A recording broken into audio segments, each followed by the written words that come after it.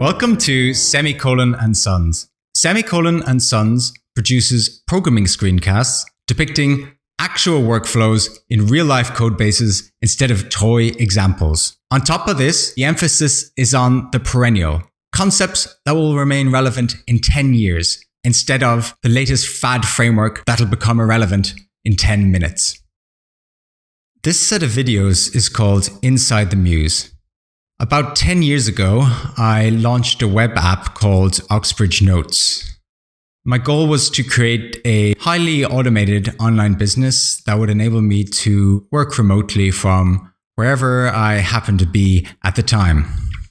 Because of my position as the owner programmer, I'm at liberty to share the code and also the analytics and the marketing statistics, whatever. That means it provides a rich and interesting case study for a real life coding project. I also hope that this will be of particular use to indie hackers, to anyone who hopes to set up something similar for themselves.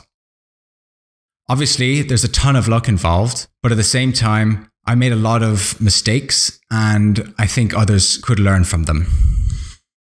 With that, let's leave the comfort of dark mode and hit the browser to check out the website. Oxbridge Notes is a two sided marketplace for buying and selling study notes. What's unique about the website is that the focus is on sellers who achieved very high grades in their final exams, especially those that won some sort of prize. The idea being that a buyer knows they're getting something excellent. So I'm going to show you the buying process here. Now I'm using the Vimium plugin. I press F and now the various links have letters beside them. If I type SS, we'll go to law, which is in the bottom corner of the left-hand column. I'm going to do the same thing again to go to administrative law. And here we can see a typical product page. This is a PDF rendering of the notes that someone can buy. And then someone can add them to cart in a very typical sort of flow. Oops, I jumped a bit there. Let's show the seller side. So a seller can apply on a page like this. Yes, it's not pretty. Um, it doesn't seem to matter an awful lot because that's where most of the supply is. It's the easiest side of the marketplace. They fill in this form and then um, our admin get an email and gets to decide what to do about it. This is the author's dashboard where they can manage what they've uploaded. And finally, here's the admin dashboard that um, I or any virtual assistants I work with can use to manage the website. You'll see I've redacted the IP addresses and emails of any customers so as to protect their identities. On top of that, you'll also notice that it doesn't look pretty here but it doesn't matter. This is just in house, so what's the point in spending time and budget and maintenance on something that's for your eyes only? In fact, if I had my way, I would control everything just through a REPL console. However, that doesn't scale out when you get freelancers involved in doing customer service. Next, I'd like to show you a couple of pages from Google Analytics. This first one shows the number of users actively browsing the website right now. This figure is hovering between 6 and 7. I like the idea that at any time of the day, there are people on the website, that it's not a ghost town. Next, let's look at a cumulative score for how many page views there are. As you can see from the graph, it's highly cyclical and tends to move between about 50,000 the low end and maybe 230,000 at the high end. This third view shows the distribution of where my traffic comes from.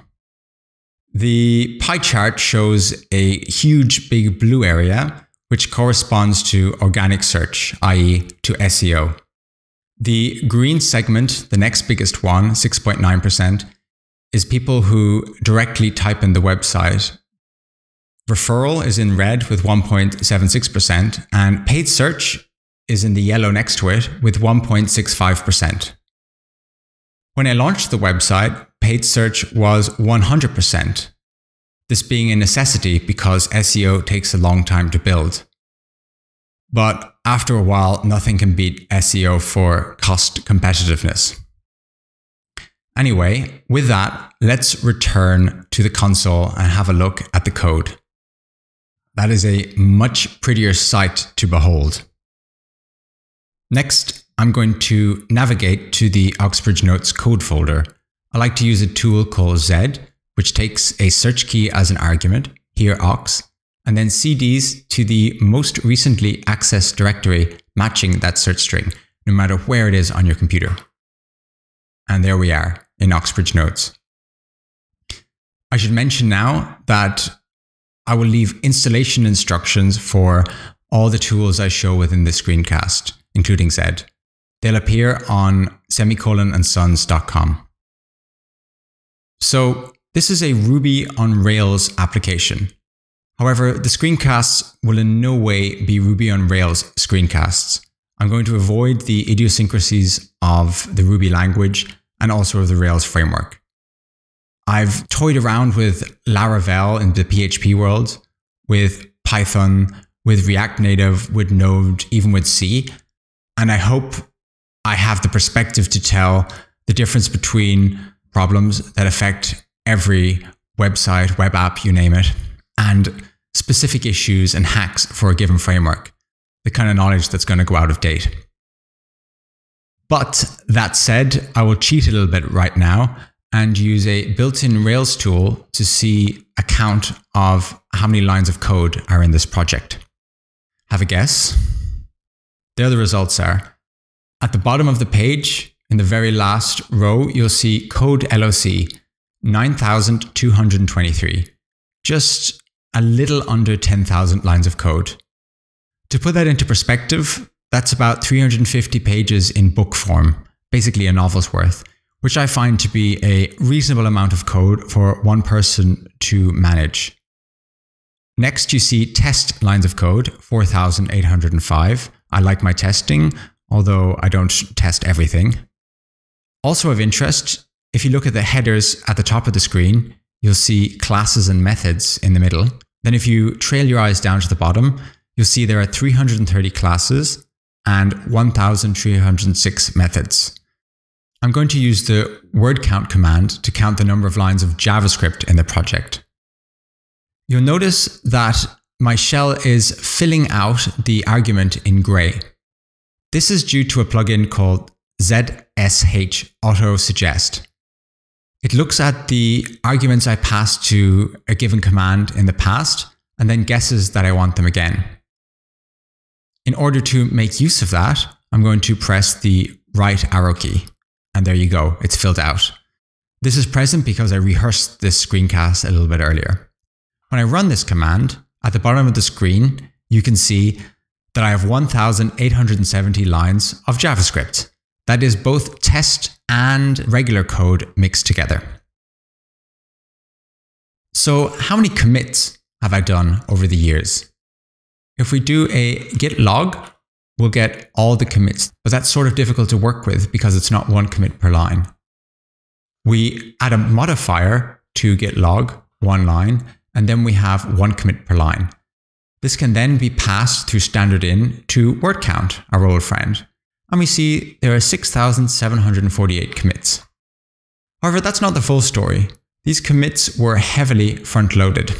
Let's look, for example, at how many commits occurred in the year 2017 once this was well and truly up and running. To start off, we're going to use a slightly different format for git log with the date in short format. This puts dashes between the years and months and makes it easier to parse with other tools. Next, I'm going to search for the year 2017. As you can see, there's a bit of junk at the bottom. We can disambiguate by adding a hyphen after the 2017. That will only match the days on which I committed. There are some duplicate entries there, so we can take only the unique entries by passing the output into unique. Okay, now we're getting there. Those are the individual days I committed to this code base in 2017. How many of them were there? 14. I'm showing you this to emphasize how automated a website, a web business can be and still be up and running. That's all I have to show you for today. Next week, I'm going to share my origin story. How 10 years ago, when I was 23 and straight out of college, I launched the website and got my first sale within about three or four weeks. If this is something that would interest you, please sign up for episode alerts on semicolonandsons.com.